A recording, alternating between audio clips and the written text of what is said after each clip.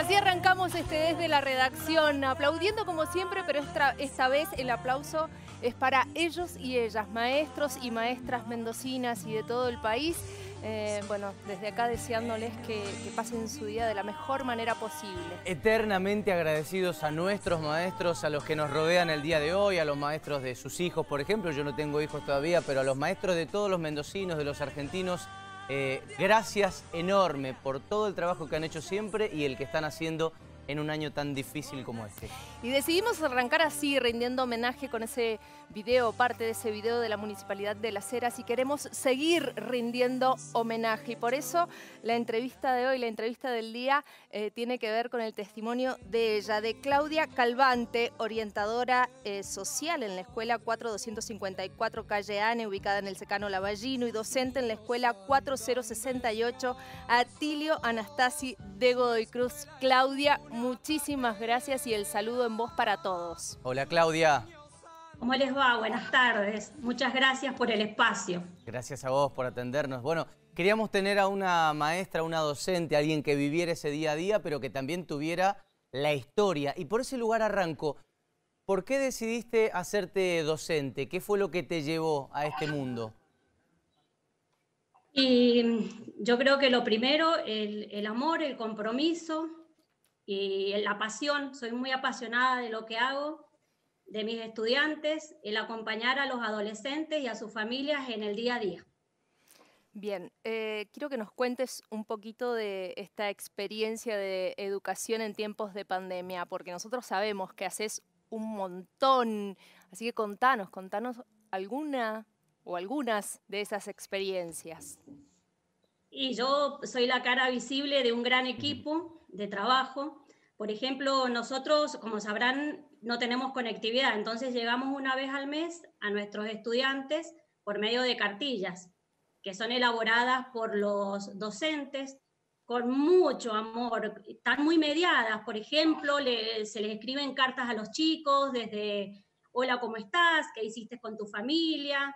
Están contextualizadas, se trabaja desde lo, desde lo que es su entorno, respetando siempre su espacio y, y bueno, y su familia fundamentalmente. Es un gran trabajo en equipo. Yo hoy estoy acá, soy la cara de un equipo directivo, de, compañeros que nos acompañan por esos caminos que ustedes están pasando ahí.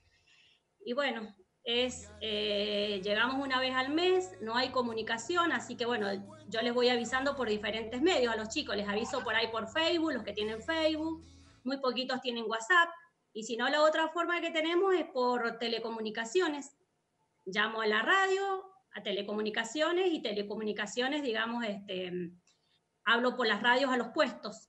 ¿Y qué dicen esos mensajes, Claudio? O sea, ¿qué es lo que vos les avisás a través de eso, eh, por radio, por Facebook? ¿Les pedís que se congreguen ahí, que estén atentos? Porque esto que es parte de tu vida es para el resto de Mendoza una cosa totalmente ajena, que nunca habían escuchado, que quizás nunca se habían imaginado, y para ustedes es fundamental a la hora de seguir enseñando. Y es un largo camino. Nosotros, por ejemplo, empezamos, es, la, es una escuela particular, tiene dos sedes, con 90 kilómetros de distancia por caminos como los que ustedes están mostrando ahora, eh, de difícil acceso. Entonces, este, nuestra tarea empieza a, las 6 de la mañana, salimos con la directora, yo salgo a la, a la, a la sede principal, que es San Miguel, con la DIRE y la vicedirectora em, con la otra orientadora social hacen el recorrido de Arroyito. Arroyito, para que ustedes tengan una idea, está a 210 kilómetros de la, de la ciudad de Mendoza. Y un día, por ejemplo, de recorrido con la DIRE, nosotros hacemos más de 550 kilómetros de ida y vuelta, ¿no es cierto? Porque después terminamos repartiendo por San Martín, que es donde tenemos eh, varios estudiantes aún porque han quedado por la cosecha en la cuarentena. No, la verdad es que es eh, un trabajo invaluable, pero además sé que Claudia tiene grupos de WhatsApp, amigas y demás, y por ahí dice, tengo un alumno que calza 37 y necesita, o sea, te das cuenta hasta dónde llega su compromiso, no, ¿no? No termina en un momento, ni termina con un horario, ni con un timbre. Más allá de eso, no, por supuesto que no. Eh, yo creo que todos los docentes hoy en día estamos las 24 horas al día eh, con el celular en mano, respondiendo preguntas. Por ejemplo, nosotros tenemos la particularidad que a lo mejor nos llega un mensaje a las 5 de la mañana, porque es cuando los chicos tienen señal o cuando tardaron a lo mejor 3, 4 horas en mandar un mensaje. Entonces, bueno, siempre estamos dispuestos todos a contestar ese mensaje a la hora que se pueda y que el estudiante tenga la mínima conexión para poder hacerlo. Y si no, bueno, lo hacemos este, una vez al mes por, eh, por escrito. Los docentes se toman el trabajo de escribirle a cada uno de los niños de los adolescentes, en qué tenemos, en qué tienen que, por ejemplo, completar, qué es lo que han hecho bien, el motivarlos. El... Yo creo que en estos tiempos de pandemia lo más importante es el corazón, motivar con el corazón y con los sentimientos. Y esto de, de, poder decirle a nuestros estudiantes en cada entrega de cartilla, dale, vos podés.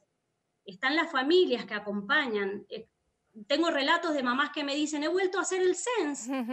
Claudia dice, porque me pongo a estudiar con mi hijo. Totalmente. Entonces, este, el compromiso que ha adquirido la familia, que siempre lo ha tenido, siempre, es una comunidad donde la familia es nuestro pilar. Al menos yo desde mi rol, eh, que soy la orientadora social, eh, sin la familia no se podría hacer nada. No seríamos docentes. Sin estudiantes no podríamos ser nosotros. Claudia, me, me, corregirás, pero hoy más que nunca, más que educar en contenidos, es tiempo de educar en valores, ¿no? Exactamente. Y agradecerles a ellos, el esfuerzo que están haciendo, porque imagínense que los chicos no pueden consultarle a los profes porque no hay conexión.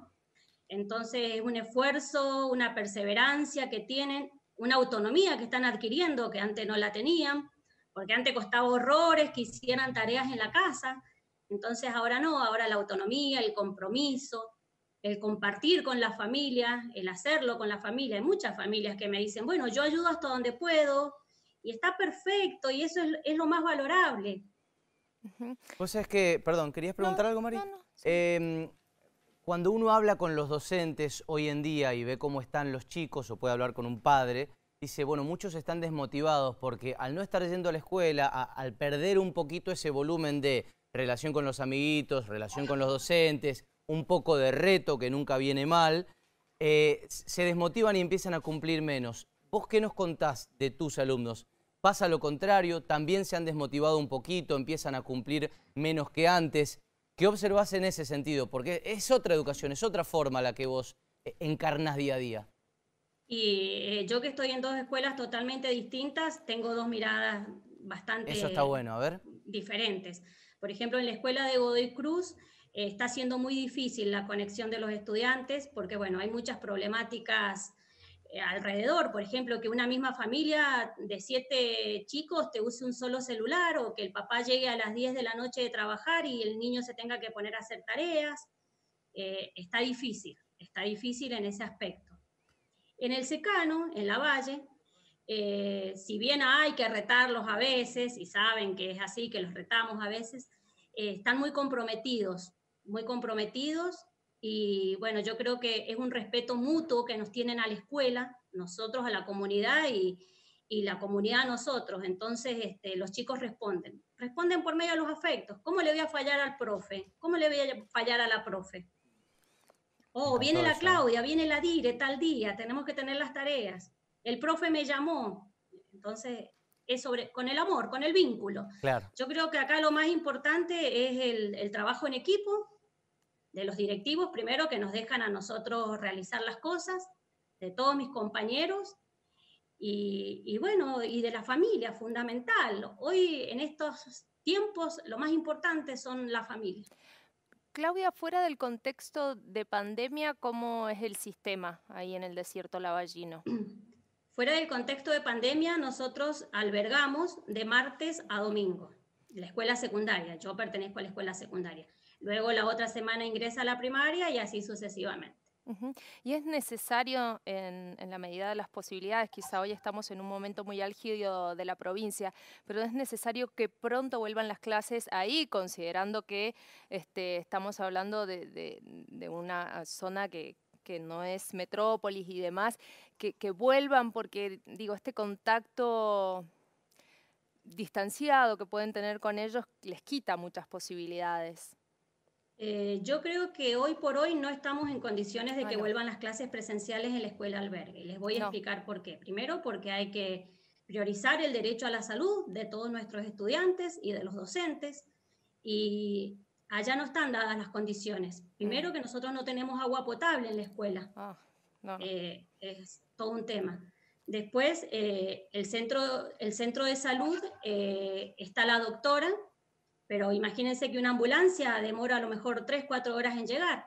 Claro, imposible. No, no están dadas las condiciones. Es un centro de salud, perdóname, Clau, que te interrumpí, digo, es un centro de salud que por ahí tiene una, quizás tenga dos eh, eh, médicas o profesionales de salud. Si se contagia una, ya es un centro de salud que está cerrado para toda la comunidad, por eso también cuidarlo por ese lado. Hay una médica y sí, lo que siempre están al, pie del cañón, como quien dice, son los enfermeros y los agentes sanitarios. Mira vos, uno escucha las noticias y esta posibilidad de que las escuelas rurales o semirurales vuelvan primero a clases y, uno escucha y se queda con lo que escucha y pierde de foco esto otro que, Claudia nos marca y que es muy importante. O sea, 2020 nos está diciendo que no tienen agua potable. Imagínense que, por ejemplo, la comunidad del retamo, del retiro, eh, está, el retamo está a más de 80 kilómetros de la escuela, eh, el retiro tenemos que hacer 150, 200 kilómetros para llegar hasta el domicilio de un estudiante. Eh, sería imposible eh, esta situación que estamos viviendo con las condiciones que, tiene el, lugar y la escuela. Y hay que priorizar la salud. Hoy en día es, es lo prioritario. Totalmente. Claudia, y te saco un segundito, después podemos volver personal, ya que es el Día del Maestro. ¿Te acordás ese primer día, e, esa primera vez frente a una clase que hay un montón de nervios, de miedo quizás, hay otra gente que va como pez en el agua directo. Pero ¿cuándo fue y, cómo fue? ¿En qué escuela? ¿Qué te pasaba por adentro?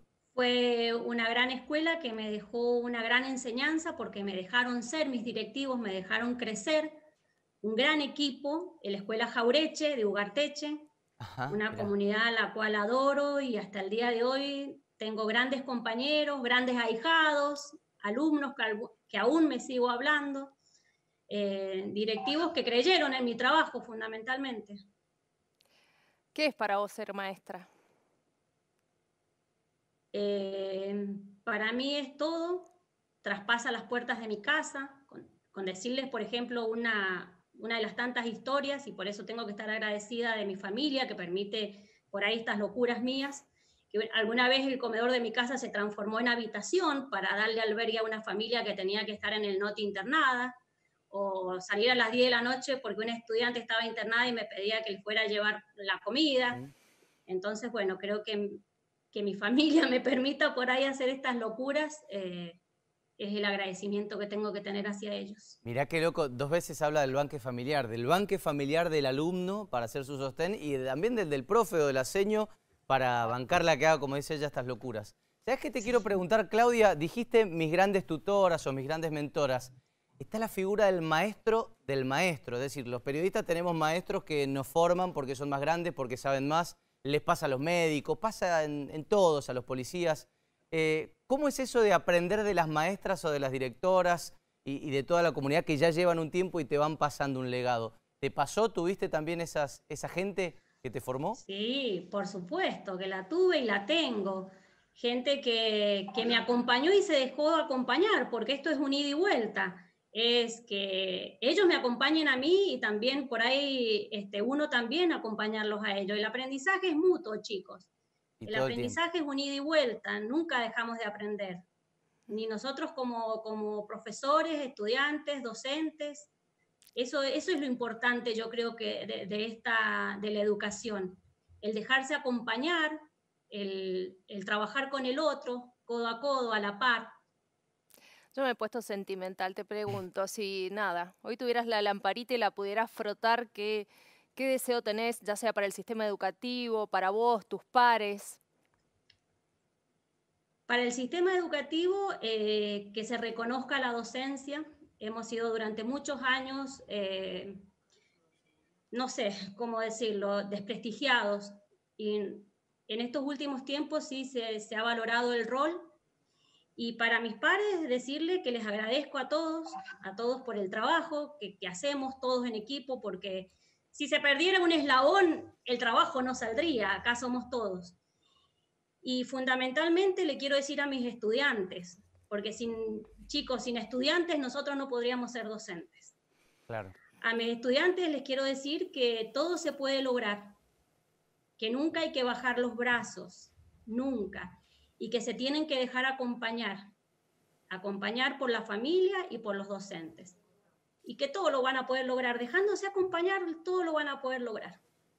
Pues es, que, pucha, no quiero ser eh, negativo. Mi pregunta tiene un tinte negativo, pero puede al contrario, que vos me digas, no, no va a ser así. Hablas del reconocimiento. Hoy, en el medio de la pandemia, reconocemos mucho. En el Día del Maestro estamos reconociendo lo que hacen. Ahora, también pasó que al principio aplaudíamos a los médicos y hoy que es cuando los tenemos que cuidar más que nunca, mucha gente no lo hace, sigue saliendo, se sigue juntando, se come un asado, o sea, eh, aplaudió de la boca para afuera. ¿Crees que cuando pase la pandemia algo de este reconocimiento que hoy todos tenemos va a quedar o se va a olvidar?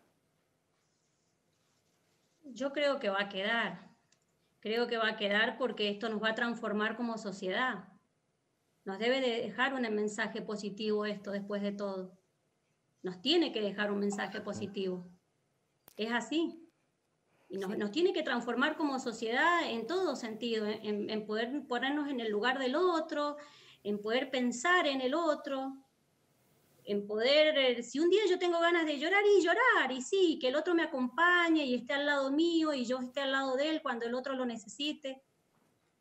Eh, creo que sí, que nos va a cambiar, estoy convencida. Y, yo agradecimiento, de, me refiero a por ahí otro tipo de, agradecimiento en cuanto a los sueldos que han sido postergados, otras cosas, pero el agradecimiento a los docentes lo tenemos día a día, que recién me escriban mamás y me digan hace una hora que estoy sentada frente a la tele porque va a salir usted.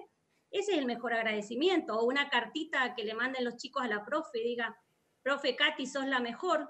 Yo creo que eso, eso, si eso no es amor, el amor, ¿dónde está? Sí, eso es amor. Eso es me amor, encantó, me encantó. Nos encantó charlar con vos, Claudia. Gracias, por tanto esfuerzo, gracias por todo lo que haces y por eh, tu amor a la docencia. Gracias. Chao, Claudia, muchas gracias. Gracias a ustedes por el espacio y un abrazo enorme a todos los compañeros docentes de la provincia y a mis compañeros de la escuela. Y a mis estudiantes, gracias, porque gracias a ellos somos docentes. Impecable, nada que agregar. Gracias, Clau. Buenas tardes, buen fin de semana para vos y bueno, que siga metiéndole como le mete a ese amor por los chicos. Miren lo que es el camino que recorre Claudia, que recorren todos en realidad los que enseñan ahí, ¿no? Así es, es eh, la verdad que una tarea eh, ardua. Claudia Calvente nos dejó su testimonio. Eh, yo siempre digo que en cualquier especialidad, en cualquier profesión, eh, los hay apasionados y de verdadera vocación y otros que no tanto. Por suerte son los menos y eh, por lo general uno en la vida se encuentra con, esos docentes de, vocación y apasionados. Eh, ya que estamos con